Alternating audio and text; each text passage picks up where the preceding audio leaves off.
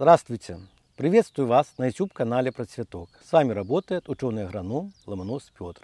Сегодня я расскажу вам о суперспособе э, изгнания колорадского жука с ваших участков, чтобы он надолго забыл дорогу на ваши плантации. Потому что если он поселяется на картофеле, нашей любимой культуры, которую мы все выращиваем на своих участках, значит он резко снижает урожайность. Он резко снижает урожайность, повреждая растения, и может вообще оставить урожай свести почти до минимума. Мы применяем самые различные способы борьбы. Но есть способы очень эффективные, которые помогают очень от колорадского жука, ну, и которые можно его отвадить от вашего участка. Ну, давайте все по порядку. Ну, значит, колорадский жук э, это известное, конечно, насекомое. Вот. Все его знают, хотя еще в 50-е годы за каждого пойманного жука плати, платили деньги.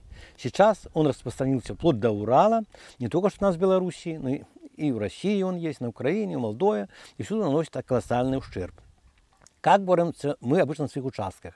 Кто-то собирает э, жука, вот, кто-то берет и использует химикаты. Химикатов сейчас в продаже есть море, всяких различных, все неэффективны. Почему не всегда получаем эффект? Очень просто. Потому что мы обрабатываем жука вот э, в обед.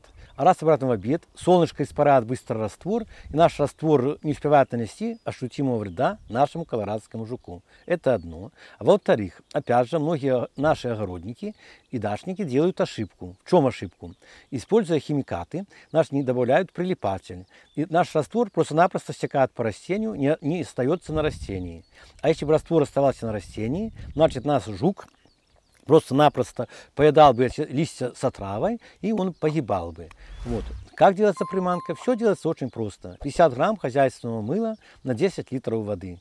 Раз, развели, туда добавляем э, все препараты, которые рекомендованы от колорадского жука. Соответственно, добавляем препараты от фитофторы, которые также рекомендованы, смешиваем и опрыскиваем наш картофель. Но это способ химический, как бы мы еще ратуем за экологическое земледелие. Вот. если собирать жука, э, конечно, как бы работа утомительная и всегда нам позволяет. Но с помощью этого нехитрого приема можно отпугнуть жука от вашего участка. Как это делается? Вот перед нами э, картофельный куст. Значит, что необходимо сделать? Это средство готовится именно из колорадского жука. Не удивляйтесь, да-да, колорадский жук отпует колорадского жука. Но как это делается, сейчас по порядочку. Берем колорадского жука и можем, можем страхнуть. Можем просто страхнуть от кустом, можем взять веником, кисточкой. Мы его можем просто-напросто вместить в наш, наше ведро. Сметаем. Это то, что нам надо для приготовления средства, которое будет отпугнет, надолго отобьет колорадского жука охоту к нашим картофельным посадкам. И вот так идем, идем по одному кустику, по второму, по третьему. Э, принцип не в этом. Чем больше мы настрасываем жуков, тем лучше.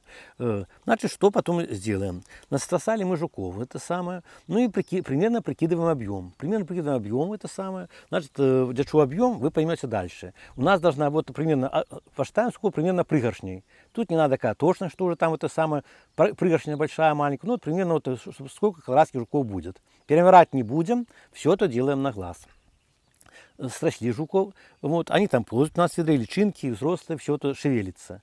Ну а дальше поступаем точно так же, как это сам. Хоть мы химикатами убиваем, может быть, более мягко, тут просто берем это сам какой-то ну, предмет, типа ведерка, который меньше по объему, и, и раздавливаем. Все эти жуков давим начинаем давить жуков. Ну, предварительно мы пересчитали. А для чего нам надо? Потому что одна пригоршня таких вот жуков, еще не, не раздавленных, идет на 1 литр воды.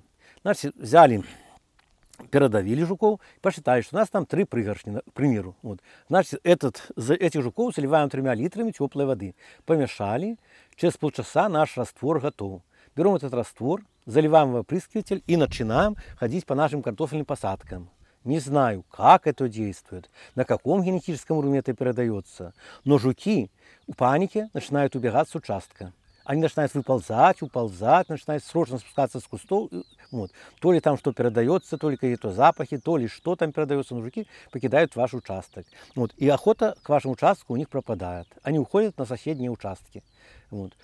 Так что поняли, способ очень простой. Здесь нам понадобятся давленные колорадские жуки. Пригоршня на, на литр, повторюсь, вот, и заливаем на час это самое, теплой водой. Не горячей, не, не холодной, именно теплой водой. И все, раствор готов для, для обработки наших картофельных плантаций. Так что это экологически чисто, вот такой, такой, такой, такой способ. Ну и с азатом меньше проблем. Потому что если проводить химию, химообработки, сами понимаете, что химия даже при том, что недопустимой концентрации, как называется правильно, это регламенты, это самое, вот чем, чем не менее, химия э, как бы все равно вредит нашему здоровью. Все равно она где-то накапливается, где-то отзовется.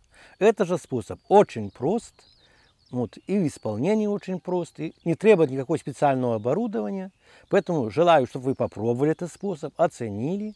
Вот. Я думаю, что он вам понравится. А вам хорошего урожая картофеля. Вот. Отлично даже урожая картофеля, чтоб, и чтобы колорадский жук не трогал ваши посадки.